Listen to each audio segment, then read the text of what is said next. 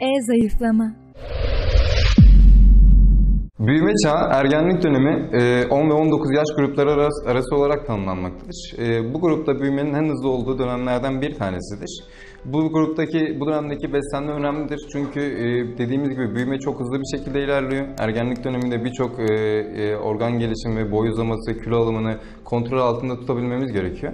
Bunun için mutlaka e, sabah kahvaltısının yapılması, ergenlik döneminde sabah kahvaltısının yapılması, okul çağı döneminde kahvaltının yapılmasının önemi çok büyük. Bu dönemde kazanılan alışkanlıklar yetişkinlik döneminde devam edebiliyor.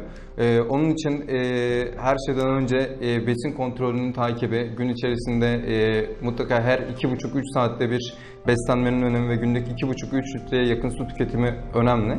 E, hamur işleri, kızartmalar e, ve birçok kalorisi yüksek olan besinlerden uzak durulması önemli. E, beslenme hayatımıza e, sporun çok büyük bir önemi var ve okul çağında ve ergenlik dönemindeki e, sporu hayatımıza katabilirsek e, bu dönemdeki e, ideal vücut ağırlığımızı koruyabilmede ve ileriki dönemlerde fit bir vücuda sahip olabilmek için önemli. E, okul kantinlerinin düzenlenmesi okul çağındaki e, obeziteyi e, engelleme yollarından bir tanesi olabilir. Kalorisi yüksek olan besinlerin okul kantinlerinden kontrollü, kontrollü bir şekilde çıkartılması, e, aileye ve ebeveynlere iyi bir beslenme eğitimi verilmesi e, ve takipli bir şekilde girilmesi bunun için önemlidir.